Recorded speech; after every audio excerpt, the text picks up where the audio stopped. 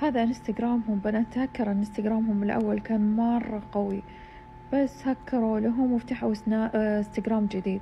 فأيضا ضيفوهم بالانستغرام تلاقون بعد قطع حلوة يوفرونها لكم.